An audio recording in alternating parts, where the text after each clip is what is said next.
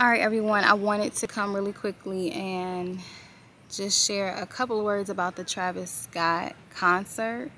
So somebody may be wondering, well, what does the Christian have to say about the Travis Scott concert? I don't know this individual, I don't know the young man, and I don't need to crucify his person or his character, but I will say this, as believers of God and believers in Christ, um, the Bible tells us to stay away from all appearance of evil. So if it looks wrong, if it looks evil, we're supposed to stay away from it.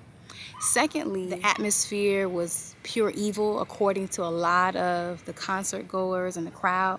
People felt really uneasy, unsafe, and their person, their physical bodies were harmed. This is what the word declares about that.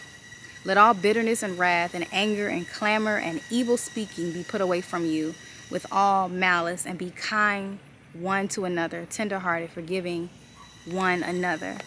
There is no way you can tell me in any shape, form, or fashion that anything kind was happening in that concert or within that crowd. Whenever you incite someone to harm someone else, that's not something that I want to be a part of. Neither should it be anything that you want to be a part of. So we have to take in consideration what atmospheres we put ourselves in. Be careful of who you're allowing to lead you because if they're leading you down a path of destruction that's going to harm yourself or others, you definitely should not be involved in it. That's my take on it. I pray peace for those individuals involved and to the families of those who have lost loved ones.